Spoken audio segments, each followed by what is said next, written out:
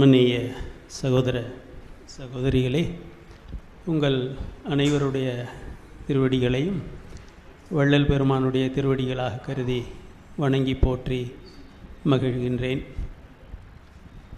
சான்றோர்களே வழக்கமான மாதாந்திர கூட்டத்துடன் இன்று ஒரு சிறப்பு நிகழ்ச்சி. இங்கே நீங்கள் பார்க்கின்ற திருக்குறள் தத்துவ யோக ஞான உரை சித்தர் உரை சன்மார்க்க உரை என்றும் சேர்த்துக்கொள்ளலாம் அந்த நூல் வெளியீட்டு விழா இங்கே சற்று நேரத்திலே நடைபெற இருக்கின்றது. திருவள்ளுவரை நாம் அனைவரும் அறிவோம். ஆனால் உலகம் முழுவதும் அறியப்பட்டாரா? என்றால் இல்லை என்று தான் சொல்ல வேண்டும். திருவள்ளுவருடைய காலம் அனைவரும் ஏற்றுக்கொள்வது சுமார் ரெண்டாயிரம் வருஷத்துக்கு முன்னால் கிமு முதல் நூற்றாண்டு முதல் கிபி முதல் நூற்றாண்டு வரை. அதற்கு முன்பு தொல்காப்பியம் இருந்ததாக வரலாற்றாசிரியர்கள் சொல்லுகின்றார்கள். தொல்காப்பியம் இலக்கண நூல். எழுத்து சொல் பொருள் யாப்பு என்று வகுத்து இலக்கணத்தை வகுத்தார். தொல்காப்பியர். இதிலே மற்ற மொழி இலக்கணங்கள் எல்லாம் எழுத்து சொல்லோடு நின்று போயின. வாழ்க்கைக்கே பொருள் சொன்னவன் தமிழ் தொல்காப்பியன்தான் ஏனென்றால் எழுத்தும் சொல்லும் எதுக்காக?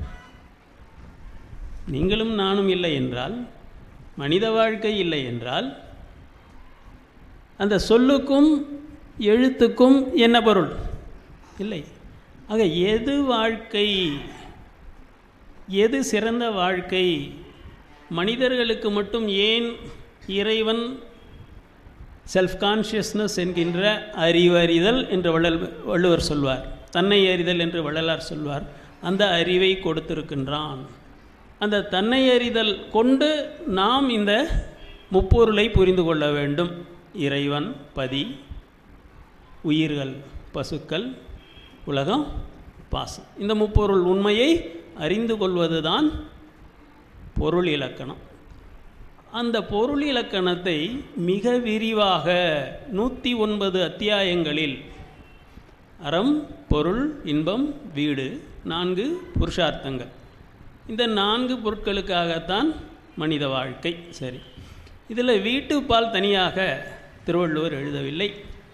ஏனென்றால் அறத்தை சரியாக செய்தாலே வீட்டை அடைந்து விடலாம். பொருளை முறையாக தர்மமாக வாணிபம் செய்வார்க்கு வாணிபம் பேணி பிறவும் தமபோர் செய்யின் என்று சொல்லுகின்றாரு. அந்த நெறியிலே செய்தால் பொருளீட்டுவது கூட தவமாகிறது தியானமாகிறது வீடு என்கின்ற மோட்சத்தை கொடுக்கும். காமத்துப்பால் ஐயா ஆணும் பெண்ணும் கூடுகின்ற காமத்துப்பால் மூலம் ஒருவன் வீடு பேரடைய முடியுமா? இதில் பல சர்ச்சைகள் உண்டு. திருவள்ளுவர் மிக எளிதாக சொல்லுகின்றார். என்ன சொல்லுகின்றார் என்றால் உருதோறும் உயிர் தளிர்ப்ப இது உடற்காமமாக நிற்கக்கூடாது மனக்காமமாக நிற்கக்கூடாது உயிர்காமமாக அன்பு விளைவதற்கு ஏற்ற நாற்றங்காலாக இல்லறம் நடத்தப்பட்டால் அதுவே உங்களுக்கு மோட்சத்தை கொடுக்கும். இதெல்லாம் விளக்கமாக அந்த நூலில் அடியன் எழுதியிருக்கிறேன். ஆக இந்த நான்கு புருஷார்த்தங்களுக்கு மேலே வள்ளல் பெருமான் போகிறார். அதாவது தொல்காப்பியன் பிள்ளையார் சொல்லி போட்டான். வள்ளுவர் அரிச்சுவடியை கொடுத்தார். வள்ளல் பெருமான் பெரிய இலக்கியத்தையே எழுதி காப்பியம் எழுதி முடித்து விட்டார். வாழ்க்கையின் பொருள் என்ன? ஏமசித்தி சகா கல்வி தத்துவ நிகிரகம் இரவுக்கு கடவுள் தன்மை அறிந்து முடிஞ்சு போச்சு. இதுக்கு மேலே உலகத்தில் செய்தியே இல்லை இருக்க முடியாது. முக்தி நிலை வேதாந்தம் சித்தாந்தம் எல்லாம் சொல்லினேன் சித்தி நிலை பதினெட்டு சித்தர்கள் சொன்னார்கள். அதற்கு மேலே கடவுள் தன்மை அறிந்து அம்மையமாதல் முக்தி சித்தி divinity divine life to lead a divine life in a divine body என்று வேதாந்தியாக இருந்த மகான் அரவிந்தர் வள்ளலார் சொன்ன இடத்துக்கு தான் வர்றார். எப்போ? ஐம்பது ஆண்டுகளுக்கு பின்னால். ஆக வள்ளல் பெருமான் எல்லாவற்றையும் முடித்து வைத்தவர் நிறைவு செய்தவர். ஆனால் நமக்கு தொடக்க புள்ளி என்னங்க? திருவள்ளுவர் பெருமான் தான். திருவள்ளுவர் பெருமானுடைய திருக்குறள் தான். அந்த திருக்குறள் ஏதோ ஒரு பழமொழிகளின் தொகுப்பு ஒரு நீதி நூல் என்கின்ற ஒரு பிம்பம் மக்களினுடைய மனதிலே திணிக்கப்பட்டு விட்டது. இது மாற்றவே முடியல ரெண்டாயிரம் வருஷமாக ஏன்னா ஞானமா? ஆ ஞானம்னா ஒவ்வொரு மதத்துக்கும் ஒரு புத்தகம் இருக்கும். கிறிஸ்துவர்களுக்கு பைபிள் இஸ்லாமியர்களுக்கு திருக்குறான். இந்துக்களுக்கு ரிக்யஜூர் சாம அதர்வண வேதம் உபனிஷதங்கள் கீதை இப்படி தான் இவ தான் ஞானம். மதம் சாராத ஞானமே கிடையாது. இப்படி ஒரு தவறான பிம்பம் மக்களினுடைய மனதிலே கட்டமைக்கப்பட்டிருந்தது. இது சன்மார்க்கம் தான் ஞானம். சன்மார்க்கம் என்று எதை சொல்லுகின்றோம்? சத் கூட்டல் மார்க்கம் இலக்கணப்படி சன்மார்க்கம் ஆகின்றது. சத் என்பது என்ன?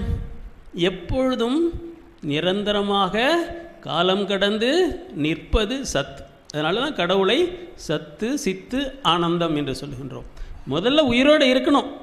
இருந்தால் தான் உங்களுடைய ஆற்றலை பயன்படுத்த முடியும் சித்து. அதிலே இன்பத்தை காண முடியும் ஆனந்தம். இது குறையுடைய மனிதர்கள் நம்முடைய நிலை.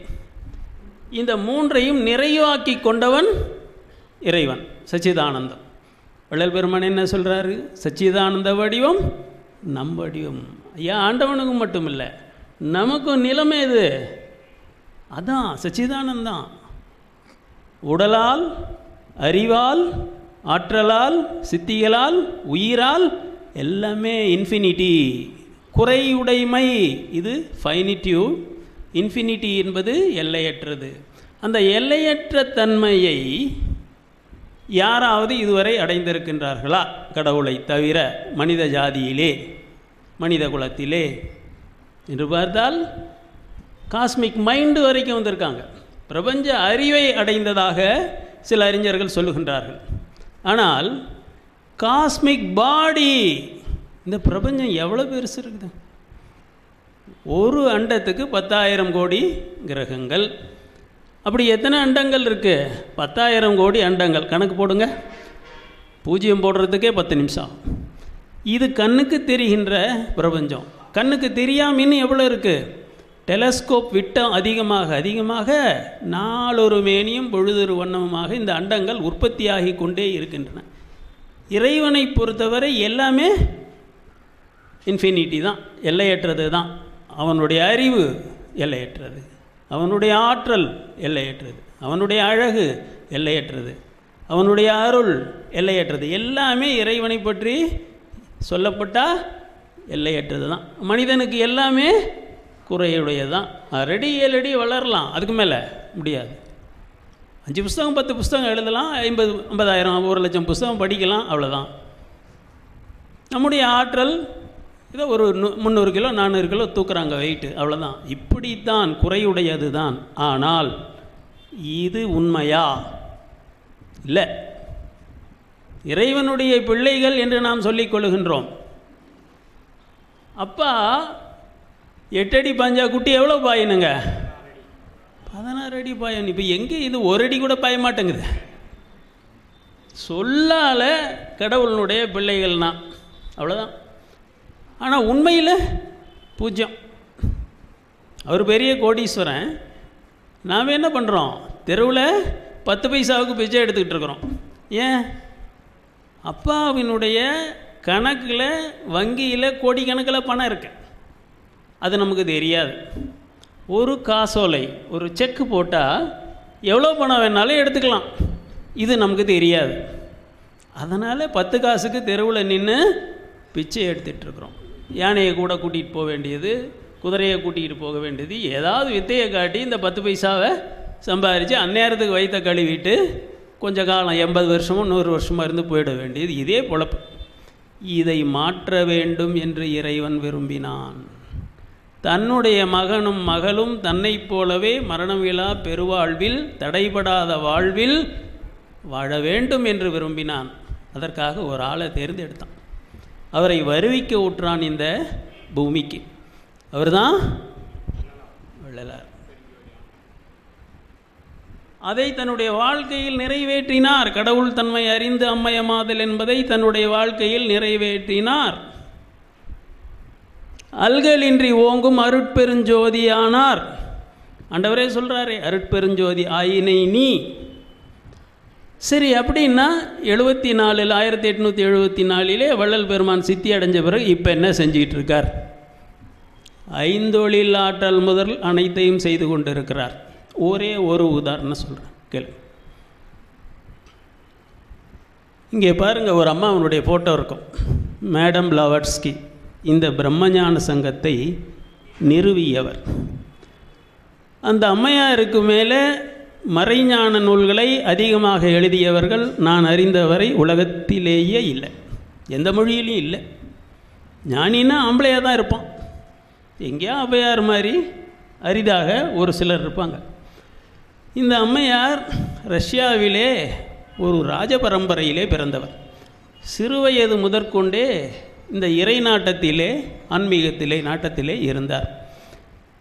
தியானத்திலே இவருக்கு இந்தியாவிலிருந்து ஒரு ஞானி தோன்றி மகளே நீ ஒரு காரியம் செய்ய வேண்டும். சமயத்தின் பெயரால் மதத்தின் பெயரால் போர்கள் நடந்து கோடிக்கணக்கான உயிர்கள் மனிதர்கள் இறந்து போகின்றார்கள். இதை நீ தடுக்க வேண்டும்.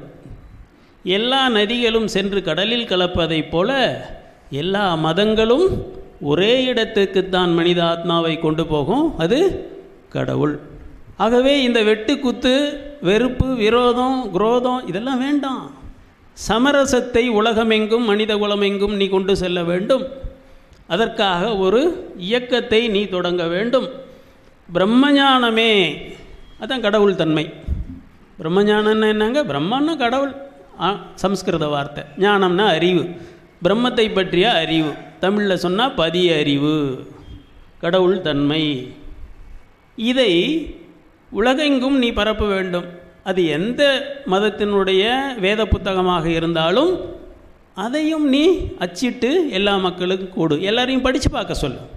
ஓ எல்லாரும் ஒரே சாமியை தான் சொல்கிறாங்க ஒரே அப்பா தான்.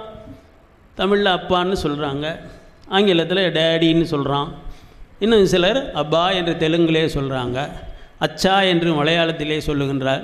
எப்படி சொன்னாலும் அப்பா அவரே தானே? ஒரு அப்பா தானே? இந்த பெயரை மாற்றி சொல்வதில் எதற்கு இவ்வளவு சச்சரவும் இவ்வளவு கொலைகளும் போர்களும்? தேவையில்லையே. இந்த காரியத்தை நீ செய்ய வேண்டும் என்று ஒரு ஞானி அவருடைய தியானத்திலே தோன்றி சொன்னார். இந்த அம்மையார் என்ன செய்தார்? சூழ்நிலை ரஷ்யாவிலே சரியில்லை ஜார் மன்னர் இல்லை என்று தெரிந்து கொண்டு அமெரிக்காவுக்கு போகிறாங்க அங்கே கர்னல் ஆல்காட் பக்கத்தில் இருக்கார். என்கின்ற ஒரு ஞானியை சந்திக்கிறார். இருவருமாக சேர்ந்து ஒரு இந்த பிரம்மஞான சங்கத்தை தோற்றுவிக்கின்றார்கள். நல்லா கவனிங்க. அமெரிக்கா சுதந்திர நாடு அந்த நாட்டில் சமரசத்தை பேசினால் ஏற்றுக்கொள்ள யாரும் தயாராக இல்லை. மதவாதிகள் அவ்வளோ வெறுப்பை காட்டுறாங்க. உடனே இந்த அம்மையார் என்ன செய்கின்றார்? பாரதத்திலே சமரசம் இருக்கின்றது என்று சொல்லி அமெரிக்காவில் இருந்த தலைமை பீடத்தை பம்பாய்க்கு மாற்றினாங்க இப்போ மும்பை. அங்கே போனால் அங்கேயும் சமரசம் இல்லை. இவங்களை இயங்க விடமாட்டேன் என்கிறார்கள் மதவாதிகள். எங்களுடைய மதம் அழிந்து விடும் என்று ஒவ்வொரு மதத்தாரும் பயப்படுகின்றார்கள்.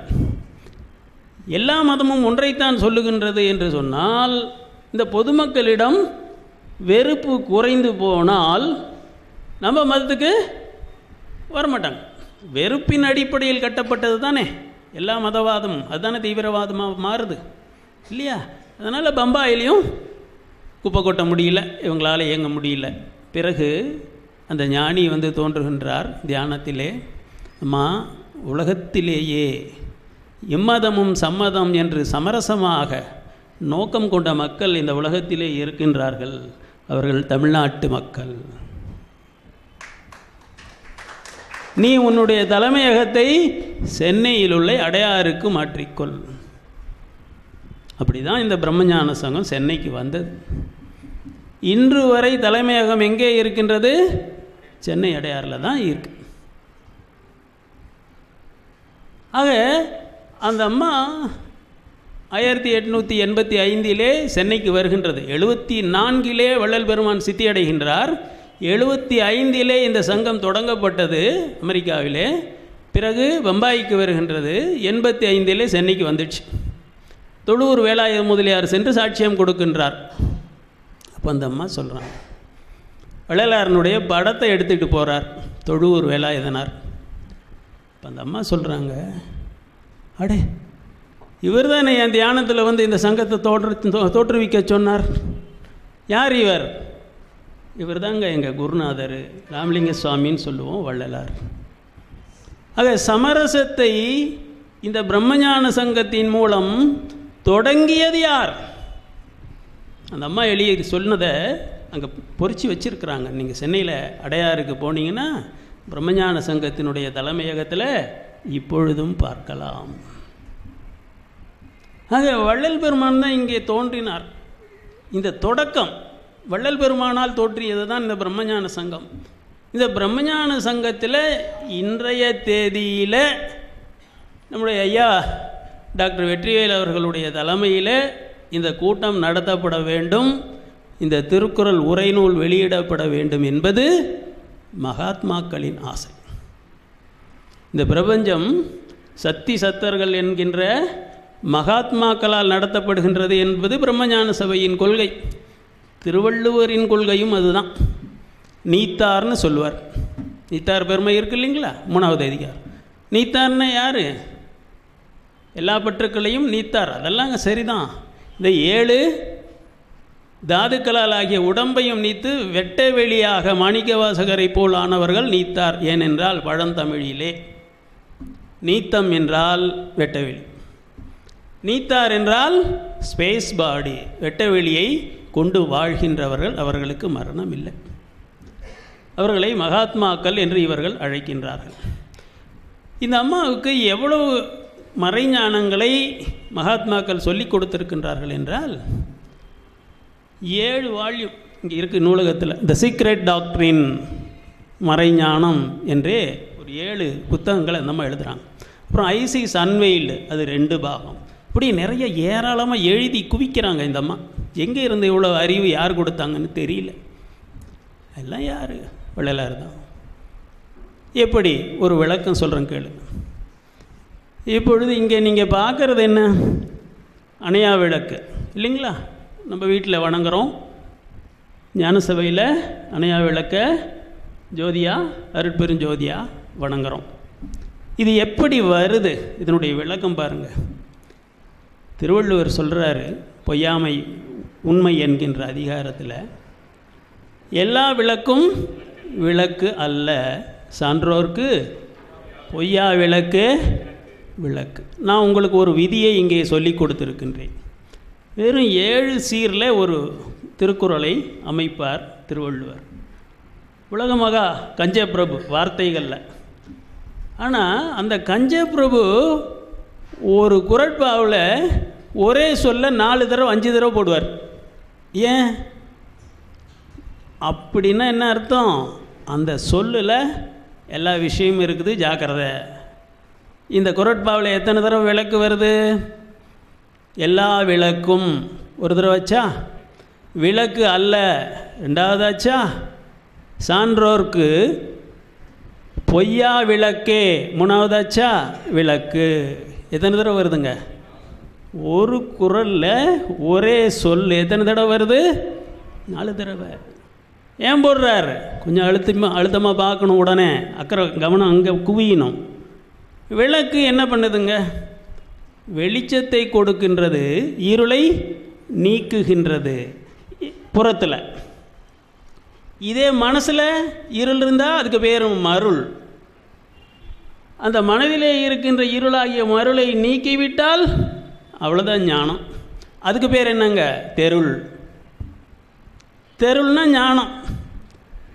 சரி ஞானம் வந்துடுச்சு. நான் இந்த உலகத்தை படைக்க முடியுமா? ஒரு புல்லை படைக்க முடியுமா? முடியாது.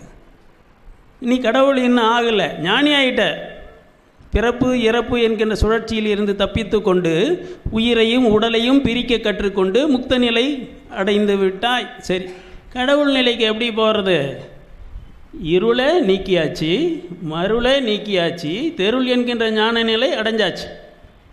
அடுத்தது அருள் அருள் வழியாகத்தான் வேற எந்த வழியாலும் ஆகாதுன்ட்டார் ஜீவகாருண்ய ஒடுக்கத்தில். அருள் வழியாகத்தான் மனிதன் கடவுள் தன்மை அறிந்து அம்மயமாக முடியும்.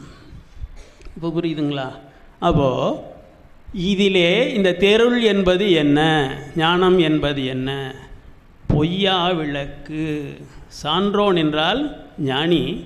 அவன் வாயிலே பொய் வராது. வள்ளல் பெருமான் சொல்வார் இறைவா நீ யாருடைய உள்ளத்தில் இருக்கின்றாய் தெரியுமா? பொய் வராத வாயர்தம் உள்ளத்தில் விற்றிருப்பவனே. பொய் பேசுனா உடனே ஒரு ஆள் வெளியில் போயிடுவார் உள்ளார் இருந்து. யார் ஒரு கடவுள். இது ஒரு அர்த்தம் உண்மைன்னு அர்த்தம். இன்னொரு அர்த்தம் பொய்ன்னு என்ன தெரியுங்களா? இப்போது தினசரி பத்திரிகையில் பார்க்குறோம். பருவமழை பொய்த்து விட்டது. இனி ஒரு சொட்டு தண்ணி இல்லை நண்பர் சொல்கிறார் பெங்களூரில் இந்த சீசனில் கொட்டுமா மழை? நண்பர் சொல்கிறாரு ஒரு சொட்டு தண்ணி இல்லைங்கய்யா மழை பொய்த்து பொய்த்து விட்டது. வர வேண்டிய மழை? வரலை. அதுக்கு என்ன வார்த்தை? பொய்த்தல். அணைந்து போதல். இந்த விளக்கு அணைஞ்சு போச்சுன்னா பொய்த்து விட்டது. பொய்யா விளக்குன்றத வள்ளல் பெருமான் இந்த காலத்துக்கு தகுந்த மாதிரி மொழிபெயர்க்கிறார். எப்படி? நமக்கு புரிகிற மாதிரி. அணையா விளக்கு. புரியுதுங்களா? அணையா விளக்கு என்பது என்ன? நம்முடைய உயிர் புருவமதி. இந்த தகர விளக்கு என்பது நம்முடைய தலை. அதிலே தெரிகின்ற ஜோதி நம்முடைய ஆன்மா. அதான் சிச்சவை அதற்கு உள்ளே இருப்பது அருட்பெருஞ்சோதி. ஆக அணையா விளக்கு என்று ஞான சபையிலே வள்ளல் பெருமான் காட்டியது எதை? உயிரை உயிர் அணையக்கூடாது. உயிர் அணைஞ்சு போச்சுன்னா என்ன ஆகுங்க மரணம். எடுத்துக்கிட்டு போய் கொளுத்திடுவாங்க இல்லை புதைச்சிருவாங்க. இது நடக்கக்கூடாது. உயிர் இருக்கின்ற வரை தான் எல்லாமே. நல்லதோ கெட்டதோ. ஆக அந்த உயிர் அணையக்கூடாது என்பதற்காக வள்ளல் பெருமான் என்ன சொல்கிறாரு முழுக்க படிக்கணும். அருட்பா முழுக்க படித்தா ஒரு இடத்திலே ஏற்படுகின்ற சந்தேகத்திற்கு வேறொரு இடத்திலே பதில் இருக்கு. உரைநடைக்கு வாங்க. உரைநடையில் விளக்கு பற்றி ஒரு விளக்கம் சொல்கிறார் என்ன விளக்கம் சொல்கிறாரு இந்த மனித தேகம் என்பது அகல் விளக்கு. இதிலே புருவ மத்தியிலே இருக்கின்ற நம்முடைய ஆன்மா என்பது ஜோதி. இந்த விளக்குக்கு திரியது. சுக்கிலம். இதுக்கு என்ன என்ன? ரத்தம் பதினாறு நாட்களுக்கு ஒரு முறை இந்த சுக்கிலம் ஆபாசப்பட்டு கழியும். ஆக அந்த திரியில் சிட்டம் கட்டினா அந்த திரி சீக்கிரம் போயிடும். விளக்கு அணைஞ்சு போயிடும். இதுக்கு மாற்று என்ன சாமி? நல்லா கவனிங்க. இதுதான் பரம ரகசியம்.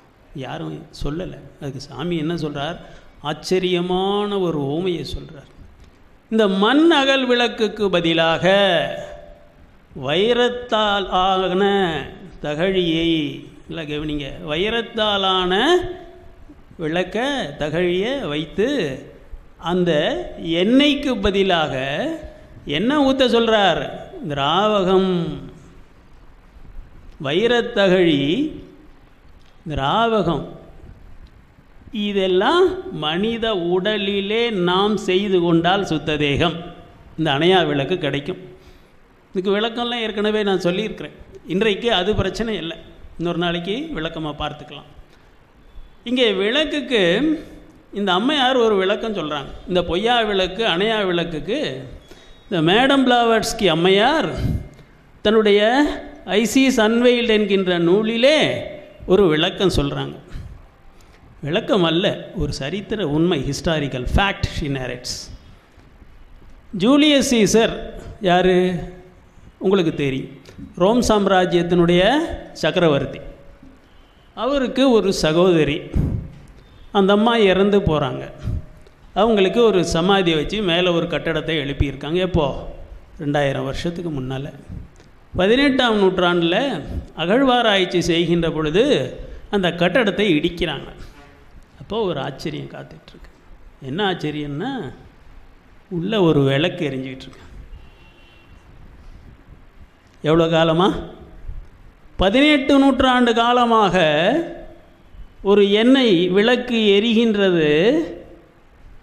இதை பார்த்து விஞ்ஞானிகள் எல்லாம் அசந்து போகிறாங்க அடுத்தது ஒன்று செய்கிறாங்க என்ன தெரியுமா?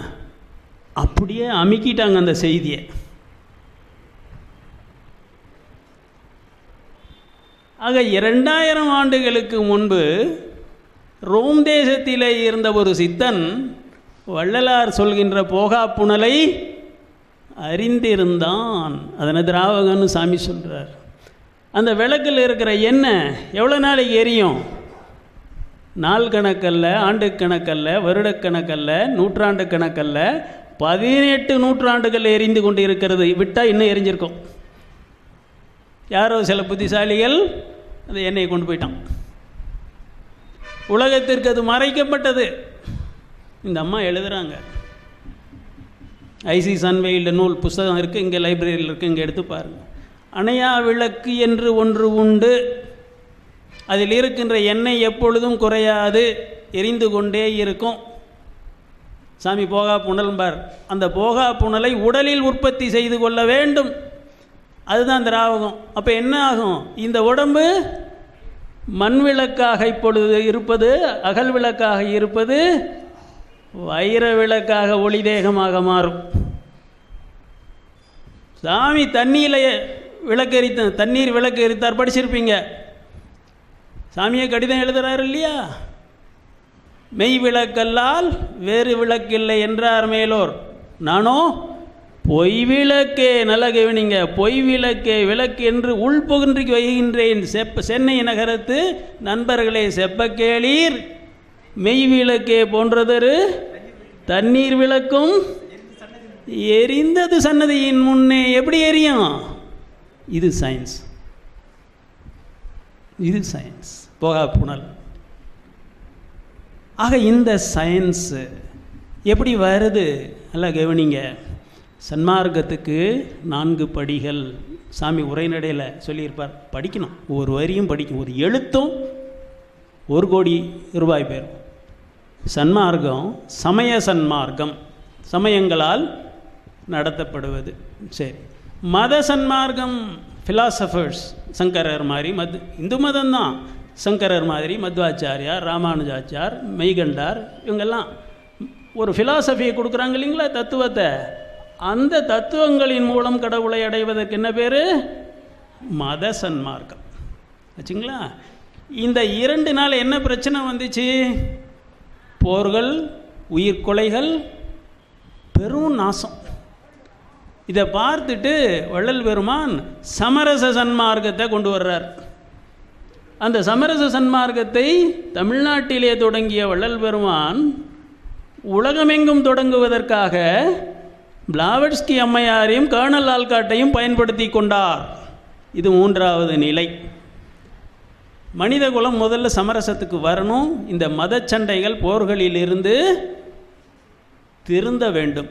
அவ்வாறு தெரிந்தால் நான்காவது நிலைக்கு வரும் பரிணாமத்தில். இந்த நான்காவது நிலை என்ன? சுத்த சன்மார்க்கம்.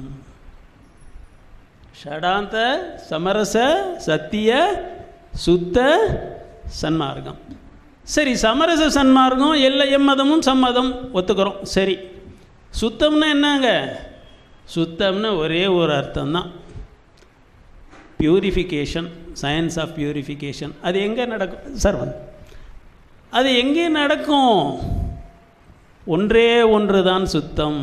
அது அருள் தான் பேதம் பாராமை தான் பேதம் பார்த்தால் நான் பெரியவன் நீ சிறியவன்.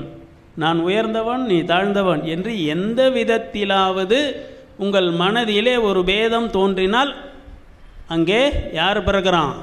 சைத்தான் பிறக்கிறான். அப்போது இந்த பேதம் தான் எல்லா தீமைகளுக்கும் உற்பத்தி ஸ்தானம் ஊற்று. ஆக பேதமில்லாத அருள்நிலை தான் எல்லா ஞானம். இப்போ புரியுதுங்களா? அப்போது இந்த அம்மா என்ன சொல்கிறாங்க பதினெட்டாம் நூற்றாண்டிலே ரோமாபுரியிலே ஒரு விளக்கு எரிந்தது அந்த விளக்கில் இருந்த எண்ணெய் ஆயிரத்தி எட்நூறு வருடங்களாக எரிந்து கொண்டிருக்கின்றது கொஞ்சமும் குறையாமல். அந்த அந்த விஞ்ஞானம் எங்கே போச்சு? இன்று ஏன் அது செய்ய முடியவில்லை? இதெல்லாம் ஆராய்ச்சிக்குரிய கேள்வி. இதெல்லாம் சித்தர்களுடைய விஞ்ஞானம் சாமி போகா புனல் என்று சொல்வார்.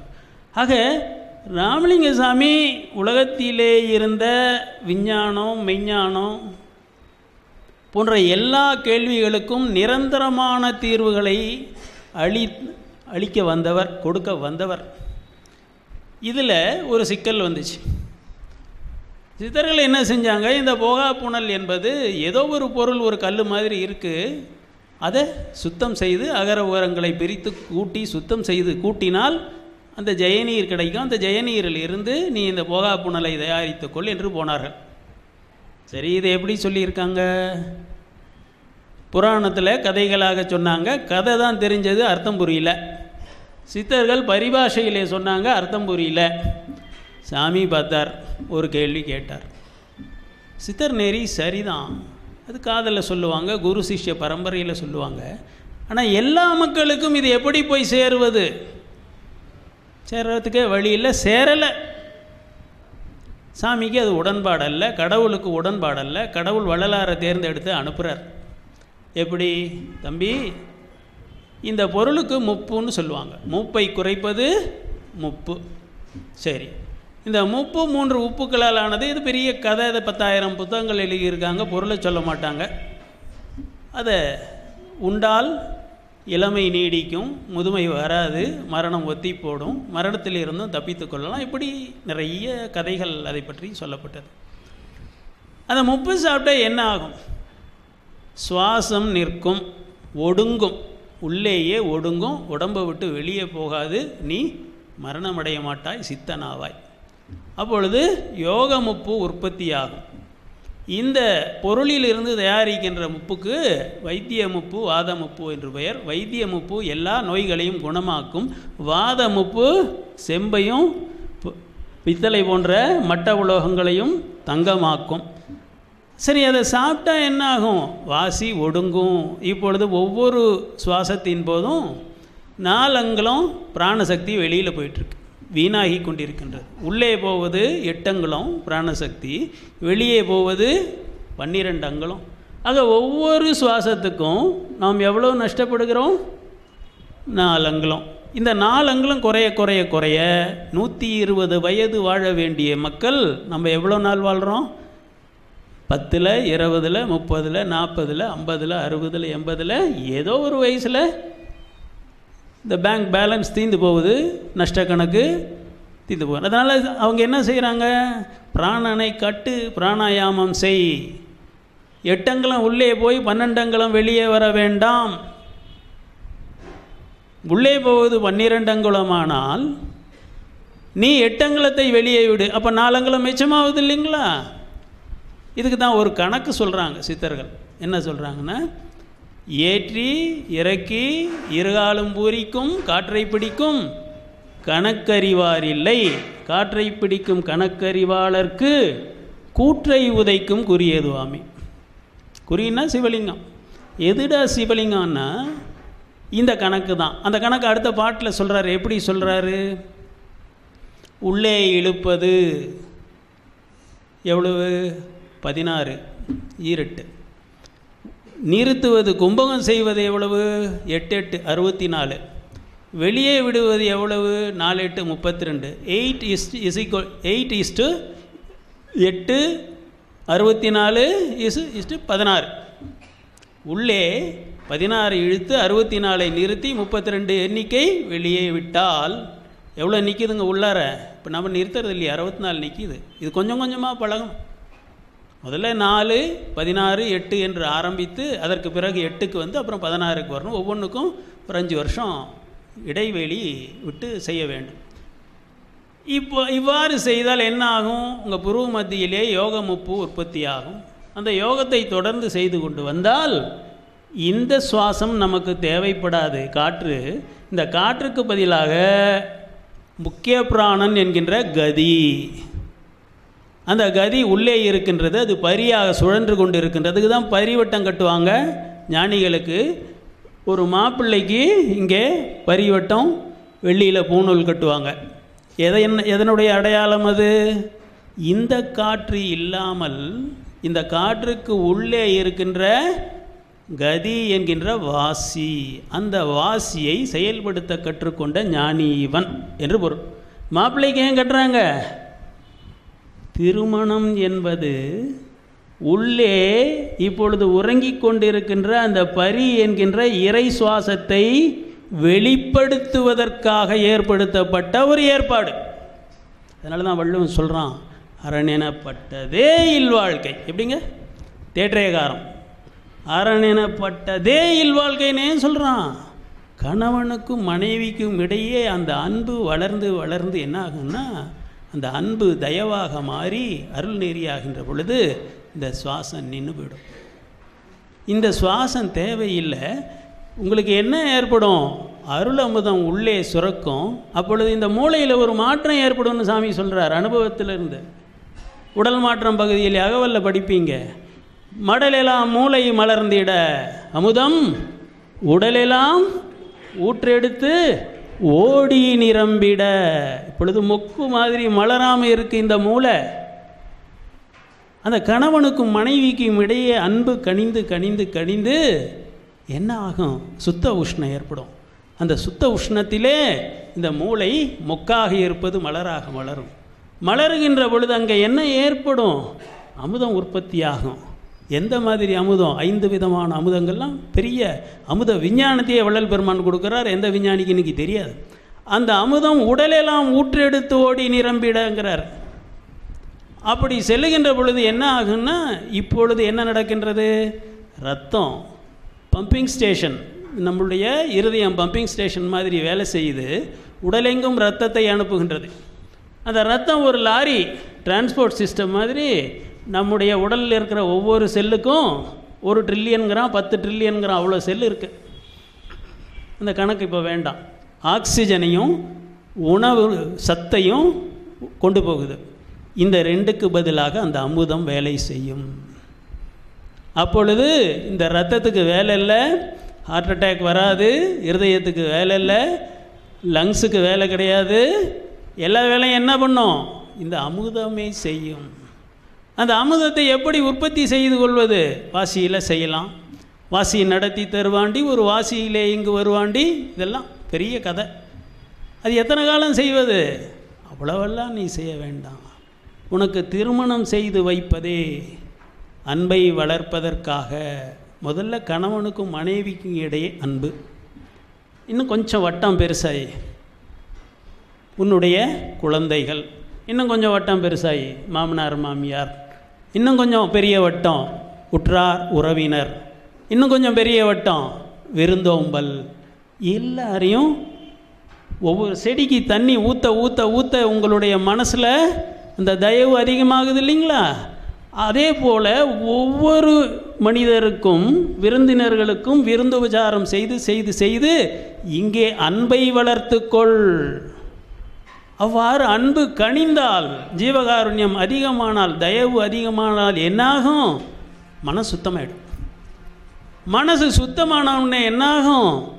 கடவுள் வந்து உட்காந்துக்குவார் கடவுள் வந்து உட்காந்துக்கிட்டா மனித நிலையை கடந்து கடவுள் நிலையிலே எல்லாமே உனக்கு சாத்தியமாகும்.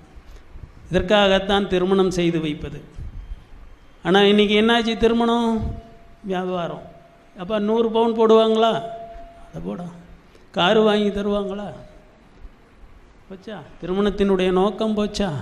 அன்பை வளர்ப்பதற்கு பதிலாக பணத்தை எண்ணுகின்றார்கள் வெறுப்பை வளர்க்கின்றார்கள். ஆறு மாதத்தில் டைவர்ஸ் ஆகுது விவாகரத்து இதுக்காகவாக திருமணத்தை செய்து வச்சாங்க. திருமணம் என்பது ஆயிரம் காலத்து பயிர்னு ஒரு பழமொழி இருக்குது அப்படின்னா என்ன அர்த்தம்? திருமணத்தின் அர்த்தத்தை புரிந்து கொண்டவர்கள் சித்தர்களைப் போல ஆயிரம் காலம் வாழ வேண்டும். நம்ம ஒருத்தரும் வாழல. அப்படின்னு என்ன அர்த்தம்? நமக்கு பொருள் புரியலை. அன்பை வளர்ப்பதற்காக நாம் திருமணம் செய்து கொள்ளவில்லை. வள்ளுவர் இன்னொரு பாட்டை சொல்கிறார் உரையாசிரியர்களை நம்பாதீங்க. எல்லாம் ஏமாற்றிட்டான் ஒழுக்கம் விழுப்பம் தரலான் ஒழுக்கம் உயிரினும் ஓம்பப்படும். இது நீங்கள் படிச்சிருப்பீங்க. நல்லா கவனிங்க. ரொம்ப முக்கியமானது எது? உயிர் தான். சரி உயிருக்கு மேலே ஒன்று உண்டா? இல்லை. உயிர் போச்சுன்னா? எல்லாம் போச்சு. எவ்வளோ கோடி பணம் இருந்தாலும் கூட வராது. எவ்வளோ பெரிய பட்டம் இருந்தாலும் கூட வராது. எவ்வளோ பெரிய பதவி இருந்தாலும் ஒன்றும் செய்ய முடியாது. ஆனால் வள்ளுவர் என்ன சொல்கிறாரு அந்த உயிருக்கு மேலே ஒரு பொருள் இருக்குப்பா. அதை பிடிச்சிக்கோ. என்ன அது ஒழுக்கம். எல்லாம் நிறைய ஒழுக்கமும் ஒழுக்கத்தோடு காந்தி இருந்தார் அன்னை தெரசா இருந்தாங்க. நிறைய பேர் இருந்தாங்களே. அவங்கெல்லாம் சித்துத்தானே போனாங்க. இதுக்கு தான் சயின்டிஃபிக் ஸ்பிரிச்சுவாலிட்டின்னு சொல்கிறேன் விஞ்ஞானபூர்வமாக அறிவியல் பூர்வமாக அந்த ஆன்மீகத்தை விளக்க வேண்டும். அவ்வாறு விளக்கியவன் வள்ளுவன் அவன் காட்டிய வழி இரண்டாயிரம் ஆண்டுகளாக மறைந்திருந்தது அதை வெளிப்படுத்தியவர் வள்ளலார்.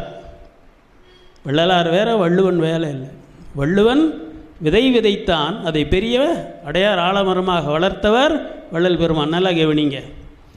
விழுப்பம்னா என்னங்கய்யா? உயிருக்கு மேலே ஒழுக்கம் ஒரு பொருளை தருது அதுக்கு பேர் விழுப்பம்.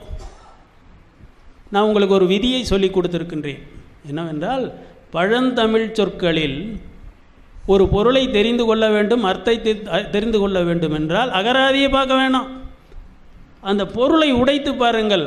உள்ளே அது வினைச்சொல்லாக வருகின்ற வரை உடைத்து கொண்டே போங்கள். எட்டிமலாஜிக்கல் ரூட்ஸ் தெரியும். விழு கூட்டல் அப்பு கூட்டல் அம். இதுதான் விழுப்பம். விழு என்றால் விழுகின்ற அப்புன்னா தண்ணி.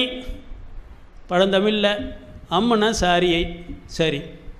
அப்போது ஏதோ ஒரு தண்ணி விழுது அந்த தண்ணீர் விழுந்தால் அதுக்கு வேறு அப்பு விழுப்பம். என்ன தண்ணி? அதான் அண்ணாக்கிலே ஒழுகுகின்ற அன்னம். அன்னம் பிரம்மம்னு சொல்லுவாங்க. புரியுதுங்களா? நம்ம அண்ணாக்கில் விழுந்து கொண்டே இருக்க வேண்டும் சொட்டு சொட்டாக அந்த அப்பம். அப்பம்னா ரொட்டி சப்பாத்தி இப்போ அர்த்தம். ஆனால் உண்மையான அர்த்தம் என்ன? அப்புன்னா தண்ணீர். அப்புன்னா பழந்தமிழில் தண்ணீர். அது எங்கே விழணும்? அண்ணாக்கில் சொட்டணும். அப்போ நீ ஒழுக்கத்தோடு இருக்கின்றாய் என்றால் என்ன பொருள்? அடையாளம் என்ன? நூறு சதவிகிதம் நீ ஒழுக்கத்தில் இருக்கின்றாய் என்றால் உன்னுடைய அண்ணாக்கில் அமுதம் சொட்டுகின்றதா? சொட்டினா ஒரு துளி அமுதம் சொட்டினா பன்னெண்டு வருஷத்துக்கு பசி எடுக்காது தூக்கம் கிடையாது தாகம் கிடையாது சோர்வு கிடையாது. ஆக நாம் ஒழுக்கத்தில் இருக்கின்றோம் என்பதற்கு என்ன அடையாளம்? அண்ணாக்கில் அமுதம் சொட்ட வேண்டும். அப்பொழுது இந்த புறத்தில் இருக்கின்ற கறி காய் சோறு தண்ணி ஒன்றுமே வேணாம். அப்படி இருக்கின்ற மனிதர்களை நான் பார்த்திருக்கின்றேன் சித்தர்களை. பொய்யெல்லாம் சொல்லலை. ஆக விழுப்பம் அந்த தண்ணியை சொட்டுனா என்ன ஆகும்? இந்த உயிர் போகாது. உடம்பை விட்டு போகாது. இந்த உடம்பு முழுவதும் உயிருடலாக மாற்றப்படும் அகவடிவு பிரணவதேகம் இதெல்லாம் சாமி சொல்வார். இது ஒரு பெரிய விஞ்ஞானம். ஆக மனிதன் வாழ்வது எதற்காக? ஒரு சாதாரண புல் அது ஏதாவது ஒரு வீட்டு முன்னால் போய் அம்மா தாயே சாப்பிட்டு நாலு நாள் ஆகுது பசி எடுக்குது பிச்சை போடுன்னு கேட்குதா எந்த புல்லும் எந்த தாவரமும் கேட்குறதில்ல ஃபோட்டோ சிந்தசிஸ் அது தனக்கு தான் தேவையான உணவை தானே தயாரித்து கொள்கின்றது. அதே போல் ஓரறிவு பெற்ற தாவரம் தனக்கு தா தேவையான உணவை தயாரித்து கொள்ள முடியும் என்றால் ஆறறிவு பெற்ற இந்த மனித தேகம் தயாரித்து கொள்ளும். எவ்வாறு தயாரித்து கொள்ளும்? இந்த விளக்கம்லாம் வள்ளல் பெருமான் சொல்கிறார் அவர் வாழ்க்கையில் நடந்ததை செய்து காட்டுறார். ஆக ஒவ்வொருவரும் சித்தனாக வேண்டும். அந்த நெறியை காட்ட வந்தவர் வள்ளல் பெருமான் தன்னுடைய உடலில் செய்து காட்டுகின்றார். ஆக இந்த குரலுக்கு என்ன அர்த்தம்? ஒழுக்கம் விழுப்பம் தரலான்னா அந்த விழுப்பம் உள்ளார போச்சுன்னா மரணமிழா பெருவாழ்வு சித்தனாவை. அந்த ஒழுக்கம் எப்படி? பத்து ரூபா புஸ்தகத்தில் வடலூரில் விற்கிறாங்க இங்கே இருக்கப்பா. நித்திய ஒழுக்கம் ஜீவகாருண்ய ஒழுக்கம் பத்து ரூபாய் கிடைக்குது. வள்ளல் பெருமான் பட்டியல் பெரிய பட்டியல். வள்ளல் பெருமானுடைய நித்திய ஒழுக்க விதிகளை ஜீவகாருண்ய நியரியை முறையாக யார் ப பின்பற்றினாலும் சத்தியமாக சத்தியமாக சொல்கிறேன் அண்ணாக்கில் அமுதம் ஜனிக்கும். நம்ம செய்கிறதில்ல படிக்கிறோம் சொல் வேறு செயல் வேறு. அப்படியே நிறுத்திடுறோம். ஆக வள்ளுவன் ஆரம்பித்தான் வள்ளலார் முடித்தார். வள்ளுவன் இராயிரம் ஆண்டுகளுக்கு முன்பு வாழ்ந்த சித்தன் வள்ளலார் இப்போ நூற்றி நாற்பது வருடத்துக்கு முன்னே கடவுள் நிலையை அறிந்து அருட்பெருஞ்சோதியான ஒரு வரலாறு. ஆக வள்ளுவனும் வள்ளலாரும் நமக்கு வாழ்க்கை நெறியை காட்டினார்கள். இதற்கு மேலே ஒரு லட்சியம் இல்லை. அதற்காகத்தான் இங்கே இரண்டு தலைவர்களுடைய ஃபோட்டோவும் இருக்கு. ராமலிங்க சாமி நம்ம அப்பான்னா நம்ம தாத்தா யார்? வள்ளுவன் தான். இந்த ரெண்டு பேரும் வாழ்க்கைக்கு சரியான புருஷார்த்தங்களை உறுதி பொருள்களை நம்முடைய தமிழ் மொழியில் நமக்கு தெரிந்த தாய்மொழியில் எளிமையாக கொடுத்து விட்டு போயிருக்காங்க. இது எப்போ நான் புரிஞ்சுக்கிட்டேன்? அருட்பாவை படித்த பிறகு வள்ளலாரனுடைய வாழ்க்கையை படித்த பிறகு தான் திருக்குறளே எனக்கு புரிய ஆரம்பித்தது. இது வெறும் பழமொழிகளின் தொகுப்பு அல்ல இது ஞான களஞ்சியம். இதில் பெரும்பாலும் சித்தர் உரையும் சன்மார்க்க உரையும் தான் இருக்குது